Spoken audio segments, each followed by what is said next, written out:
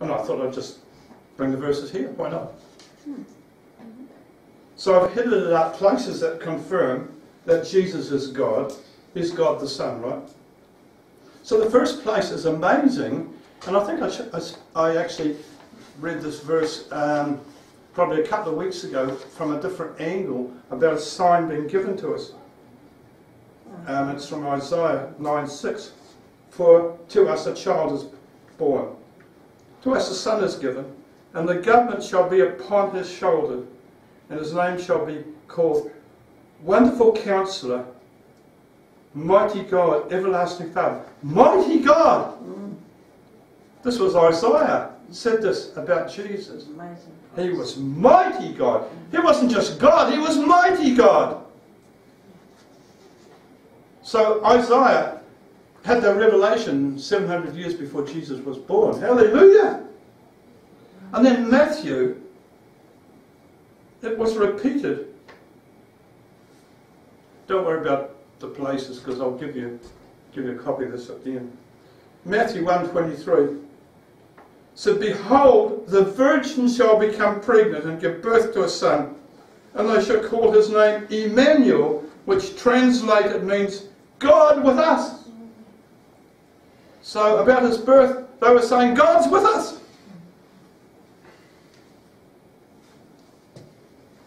I've got some other verses here which don't actually say that.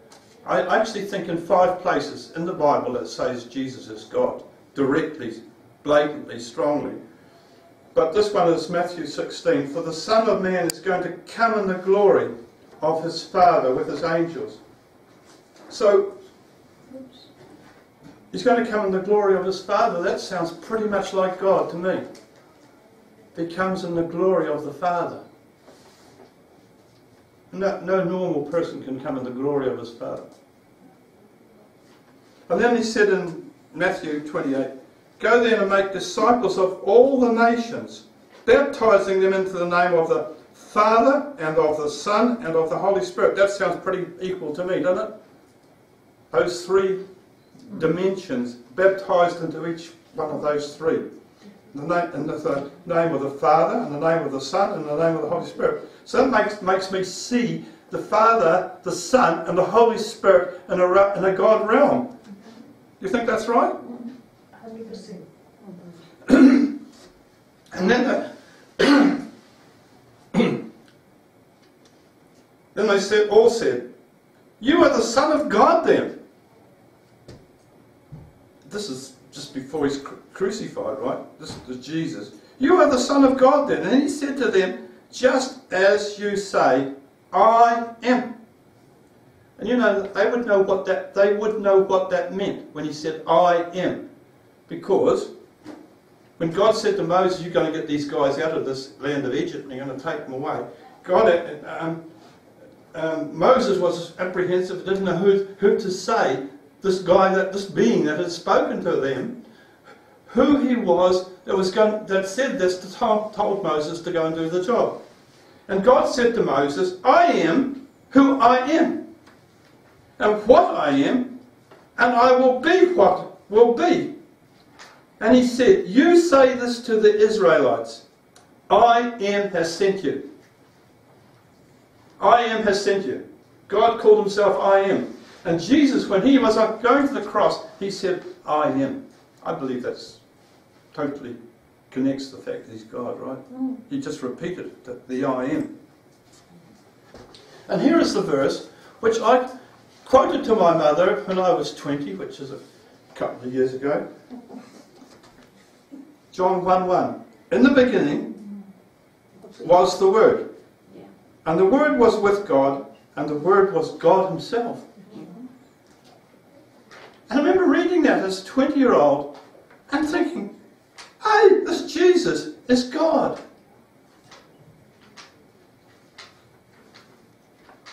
So I kind of tried to tell people, but nobody listened. So, yeah. he was presently present originally with God. All things were made and came into existence through him, and without him was not even one thing made that came into being. It had to be him that even created us, okay? In him was life, and the life was the light of men. Just keep that light of men thing. And the light shines in the darkness, for the darkness has never overpowered it. There came a man from John. I used to know, mean, I used to know this chapter off by heart when I was 18. We used to learn verses. I knew, I knew this one, 23rd Psalm, Psalm 104, 1 John, John 1, Genesis 1. I mean, yeah, I suppose it stood by me during the year. Came, this man came to be a witness that he might testify of the light, that all men might believe through him. He was not the light himself, but he came that he might be a witness regarding the light. There, there it was, the true light, coming into the world that illuminates every person. He came into the world, and though the world was made through him, this Jesus, although Jesus made all this, the world did not recognize him. He, he came to that which belonged to him, his own, which is this whole creation, but they did not receive him and welcome him. But as to as many as did receive and welcome him, he gave the authority to become the children of God. Amen to that. Hallelujah on that one. That is to those who believe in his name. Who owe their birth neither to blood nor the will of the flesh, nor the will of man. They are born of God. And then here comes this word that was God on this next verse. And the word Christ became became flesh. So this word which is God became flesh. Which absolutely proves that Jesus was God. Is God. As long as I'm in the world, I'm the light of the world. And we get to where, where Thomas was questioning the whole thing about the resurrection. And he said to Thomas, this is Thomas after he died and was risen again, reach out your finger there and put it in out your hand and place it in my side. Do not be faithless. Stop unbelieving. And Thomas said to him, My Lord and my God. Call him God. Thomas, the unbelieving Thomas, now said he's God. Do you think do you think when Jesus said, Put your finger in my hand, which was a kind of a not a great hole, nail hole, that was a possibility, right? The resurrected Jesus I'm talking about. Then he said, Put out your hand and place it in my side. That must have been an enormous hole. Can you imagine putting your hand in your side or anybody's side, putting it in there? He was actually saying this hole that is on Jesus is big enough to put your hand in. Otherwise, he wouldn't have said it. It's a huge rift. And, you know, there's possibility that Thomas did it.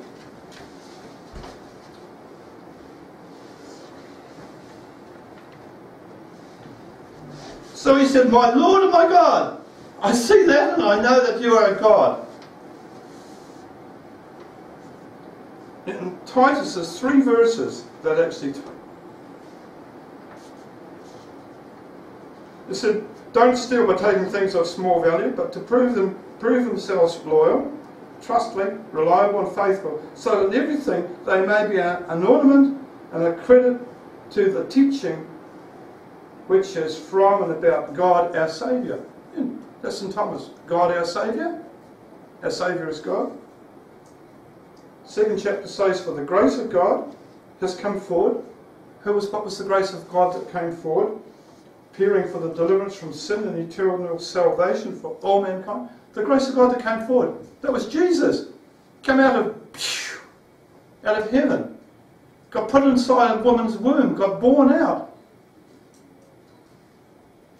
That's the grace of God came forward. And the third one in Tom, well, next is couple.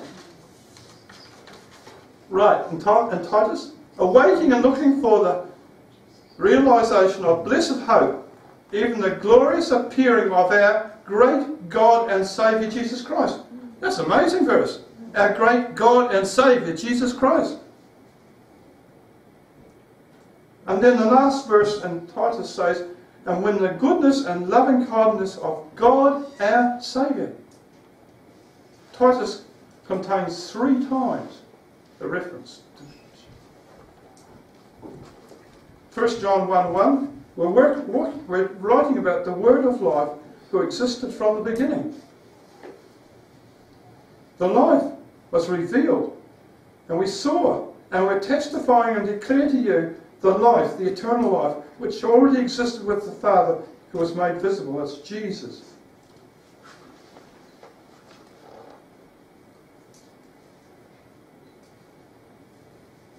And then in 1 John 1 5, and this is a message, the, message of promise which we have heard from him, that you, we are reporting to you God is light. But it says that Jesus is light too. So he must be God. And there's no darkness in it at all. And I've just got to cut one more thing here. In Hebrews 1.1, in many separate revelations, set forth a portion of the truth, and in many different ways God spoke of old to our forefathers by the prophets. But this is, I love this. But in the last days he has spoken to us through the person of his Son, whom he appointed heir and lawful owner of all things, and by whom he created the worlds and reaches of space and the ages of time. He is the sole expression of the glory of God. That's Jesus. Sole expression of that the light being. He is the perfect imprint and very image of God's nature, upholding and maintaining and guiding and propelling the universe by his mighty word of power.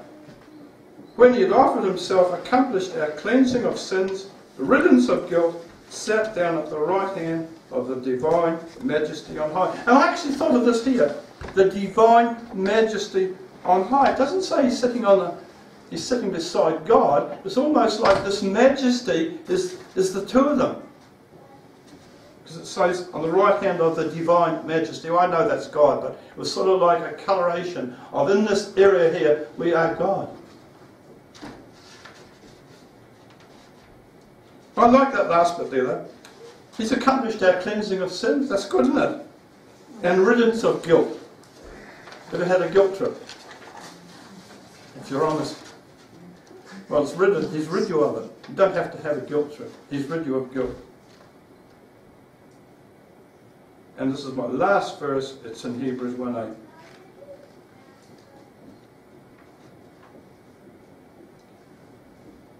Moreover, when he brings the firstborn son again into the habitable world, you know what that was? When he rose him from the dead. Let all the angels of God worship him. Referring to the angels, he says, who made his angels winds and his ministering servants flames of fire. But as to the Son, he says to him, listen, this is the Son, your throne, O God. He's saying this to the Son. Your throne, Son, your throne, O God. He calls him God. A, I think it's a quote from the Psalms, is forever.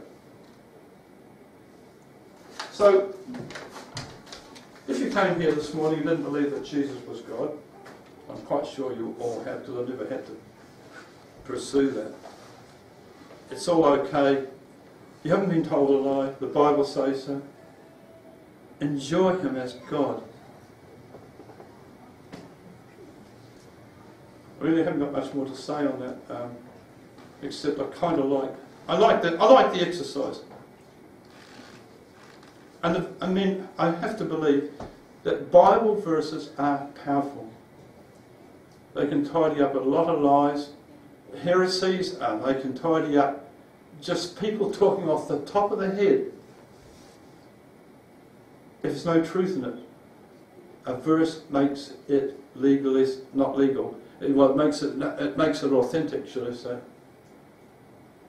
You see, you like it? Let's just stand up. Just come on, stand up. Come on, stand up. Let's give a, let's give a bit of a hallelujah. to Jesus is God. Come on. Jesus, we thank you. Just make a bit of noise to him. Come on. Jesus, we thank you that you're God. Hallelujah. Thank you. Hallelujah. Glory to you. Glory to you, Lord. Amen. Hallelujah. Just give him some praise. Come on. Give him some hallelujahs. Jesus, you're amazing. You are God in flesh. You loved us so much. Hallelujah. Oh Lord, we just thank you that you came. God, you came on earth in the form of a man. His name is Jesus. Amen. Amen. Hallelujah, hallelujah, hallelujah. Just give him some hallelujahs. Hallelujah. That's praising God. Hallelujah. Thank you, Lord. Thank you, Jesus. Glory to you. Glory, glory, glory. You deserve all our praise, all our honor, oh, all your good word. And no words can describe it, Jesus. Hallelujah. Glory to you. Glory, glory, glory. Hallelujah. Oh, yeah. He's worthy of our praise. He, he listens for. His heart says, I like it, I like it, I like it. You know, a little baby, when you goo, goo, goo, goo, goo, goo, touch it under the chin, you know how it responds and gives you a wee laugh? I'm sure God does. There's something happen up there when we give Him praise. We're not tickling Him under the chin, we're just, just saying, Hallelujah! Hallelujah! Hallelujah! Hallelujah! Hallelujah! Hallelujah! Thank you, Jesus. Wow. Whew. Yeah. Thank you, Lord. Thank you. Thank you. You are God, and it makes a difference to know you are God. Mighty God. Mighty God, it says. You're mighty God. And you're in us. You're mighty God in us now. Hallelujah. And you are mighty God interceding to mighty God. You know Jesus interceding for you right now? The high priest, and he is mighty God interceding to mighty God. He is mighty God the Son interceding to God the Father. Hallelujah. Yeah. Wow, glory. Thank you, Jesus. Oh, I like all that. Okay, well, you may be seated.